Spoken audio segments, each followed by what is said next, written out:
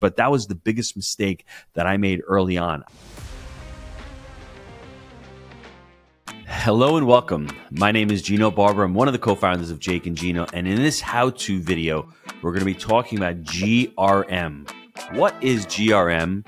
We're going to be talking a little about price per unit, the 1% rule. We may throw a little bit of cap rates in there. But to start out with, GRM stands for gross rent multiplier. The formula is your property's purchase price or the market value divided by the gross rental income.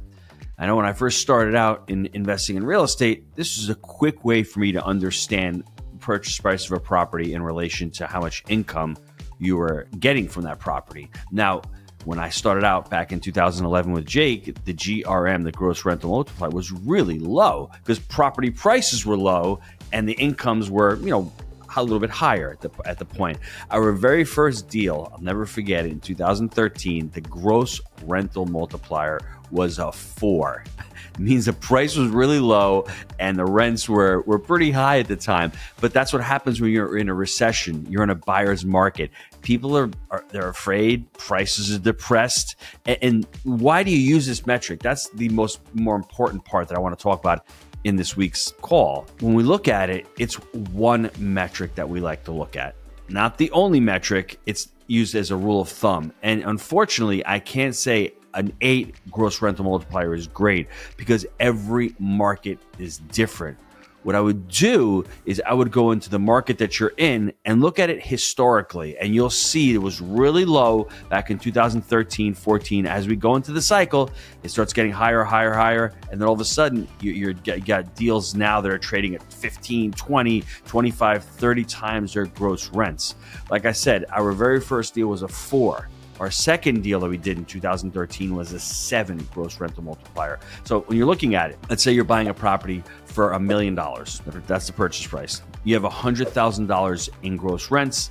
That would make it a 10 GRM, 10 times the gross rents. That same property at a million dollars and it's only getting 50,000 in rents. That means the gross rents are 20. Now, does that mean the property is overpriced? Once again, I'm going to sound like an attorney. It depends. You may be in a market that has high cap rates, low prices. Some markets that are more challenging, more difficult, they're going to have higher cap rates because those prices are depressed. There's more risk. Their gross rent multipliers are going to be a lot lower. They're going to be a lot more attractive, which means that those properties are going to cash flow. At a certain number, the gross rental multiplier, your, your property's not going to cash flow if it's so high. So when we're looking at it, that's one number that you can you can look at. The other one that we like to look at is price per door, price per unit. In the last couple of years, people have been poo-pooing this. Oh, price per door doesn't make doesn't make a difference. It doesn't really matter. Well, to us, it matters. We, we like to use what everyone considers the one percent rule is, is another rule of thumb that people out there utilize. The one percent rule basically says you take your price per unit you have $100,000 price per door, right? If you're collecting $1,000 per month in rents, you divide the $1,000 divided by the 100,000, you're going to get 1%. 1% of the rents is what in relation to that price per door. Now, if you're buying a property at 100,000 per unit and the rents are only 800, that's only 0.08. Now, I'm not here to tell you to buy it or not to buy it. What I'm here to say is how we use it is if we can buy that property for 100,000 a unit and rents are only 700, but we know the after repair once we've done the repositioning, we can get them to 1100. That deal probably works. Remember, these are all indicators. These are all metrics that we're trying to use to get quick back of the napkin before we go into this deep underwriting, understanding it. So if people have been buying deals at you know 150,000 a unit, 180,000 a unit, and rents are like 1,100 dollars, that deal is going to be very difficult to reposition. Now, people have gotten away with it. that, that, um, I should say that deal is going to be very difficult to cash flow. People have gotten away with it over the last couple of years because they've been playing this hot potato. They've been buying the deal, fixing it up, putting a little you know lipstick on the pig, flipping it to the next person. Well, now the rubber, as they say, is hitting the road right now. That's stopped. That is stopping right now. So we have to get back into basic metrics, basic fundamentals. The 1% rule, I think, is going to come back and people are going to be talking about it. It's been challenging over the last couple of years to use that 1% rule.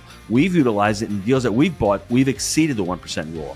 on an after repair, right? Very important. The gross rents, looking at it, it's been challenging. I think our last deal we've done in 2023, the gross rents were 10. I mean, think about it. That's basically double what we were buying back in 2013 prices are coming down. That's why the gross rents was only a 10 on the last deal we've done. If we'd bought it last year, that same deal probably would have been a 15 or a 20, would have been a lot higher. And the last metric that we like to talk about which Jake and I like to kid about it, is the cap rate. The cap rate is the holy grail of investing in real estate.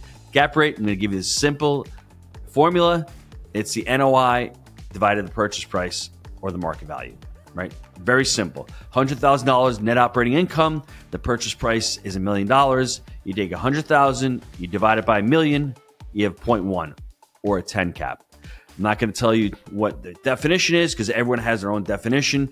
The way you use a cap rate is you're trying to understand what the cap rate is in the market. So if you're buying a, a properties in a market that are 10 caps and all of a sudden you find one that's priced at a 12 cap, well, you may be finding value there. You, you may be buying it above what the cap rate is in the market. So understand it. The more important thing is where are you buying and what the cap rates are in your market. Because if you're looking at a, in a market, let's say you're in Detroit, and cap rates are typically eight or nine caps in Detroit, and you go in and you tell a broker, I'm looking for 13 or 15 caps, the broker is going to laugh at you and say, We don't have that here. So understand what cap rates are in your market, understand with the 1% rule how it works in your market, and understand the gross rental multiplier in your market, what happens in those three markets. These are three metrics that you can use as you're underwriting deals to give you a quick, dirty back of the napkin. Now, if you want more information, just go to jakeandgino.com forward slash apply. Apply to work with our team. If you're looking for more information on how to get into multifamily, because I know a lot of students out there that we've had, a lot of members, when they started out, they were in the single family space. They didn't know how to really underwrite a multifamily deal. There is there are differences. There are a lot of similarities in real estate, but there are a lot of differences. And one of the differences is understanding these metrics, understanding cap rates, understanding the 1% rule in multifamily, see how it fits into, into your buy right criteria. And ultimately, as you're creating these, you can create your own what we call the buy right criteria. What does your 1% rule look like for your criteria? What does the cap rate look like for deals that you're targeting for your criteria? What does the gross rental multiplier look like in your market? So when you have these numbers, all of a sudden a broker brings over a deal, it's got a 10 gross rental multiplier, it's got a six cap, and it's got the 1% rule. Well, then all of a sudden you say to yourself, that's a deal. I know it right now. Let me dive into a little bit more, but you get excited. And that's what all these metrics, setting these metrics are on the front end are. It's all about creating the buy right criteria. It's buy right, manage right, and finance right. But if you don't know your criteria and what to buy, you're going to make a mistake. And you know, I'd share this story at our live event, Multifamily Mastery 6, but that was the biggest mistake that I made early on. I had beginner's luck. My very first deal was a four unit and it was actually a three unit converted to a four unit. But I held that property for 20 years and I ended up selling it because we left New York and I did really well over the years with that property. But after that, I had no criteria. I got into a mobile home park, I got into a strip center. I got into a couple of duplexes up in Rochester, and those investments weren't bad. The thing that was really bad in my instance was I didn't have the map. I didn't have a process or a framework. I didn't have these metrics. I didn't have an understanding of the asset that I was investing in. And that's what we do at Jake and Gino. We teach our members how to actually create these criteria and look at it from the lens of buy right, manage right, finance right. Now, what I want you to do, go to jakeandgino.com, check out the information that we have in there. Subscribe to our podcast. We have the Jake and Gino show, we have the Movers and Shakers show, and obviously this how to channel on how to continue to build your business. Once again, I just want to thank you for listening to Jake and Gino, for being part of the community, and I will see you on next week's How To. Thanks for tuning in. If you enjoyed today's video, be sure to like and subscribe so you'll never miss another episode.